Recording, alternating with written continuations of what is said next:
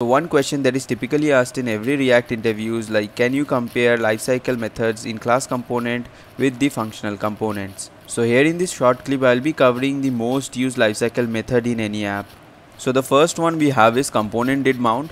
This will only be triggered when your component loads up initially and this is the equivalent for the hooks where you only the key difference is you just need to pass an empty dependency array. This, when you pass this this will only trigger on the initial load.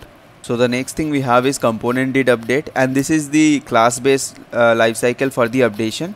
So it will only check your previous value with the current value and if anything has changed then this will trigger.